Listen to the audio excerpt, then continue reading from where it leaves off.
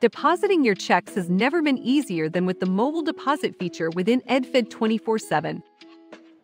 This is a free, convenient, and secure mobile app solution that allows you to capture digital check images with your smartphone or tablet to process remote deposits into your account.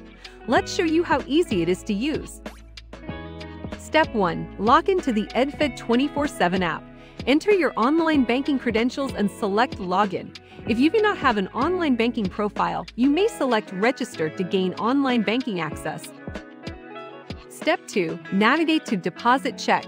Select Deposit Check from the shortcut menu. Step 3. Read and accept disclosure. If it is your first time accessing the Deposit Check feature, you will need to read, scroll down, and accept the Deposit Check disclosure. Step 4. Select the deposit account. Select the ShareDraft account that you wish to make a deposit into. Step 5. Enter the deposit amount. Enter the written dollar amount of the check you are depositing. Step 6. Capture the front of the check. Select the front of check box and take a picture of the front of your check. Make sure to place the check on a solid, dark, non-reflective background or surface with sufficient lighting. Step 7. Capture the back of the check. Select the back of check box and take a picture of the back of your check.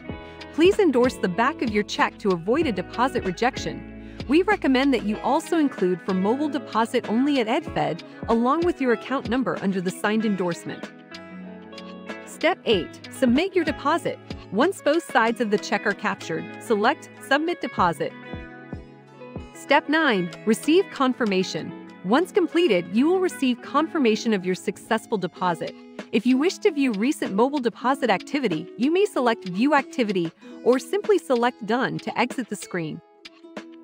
Congratulations! You have successfully completed your first mobile deposit through EdFed 24 7.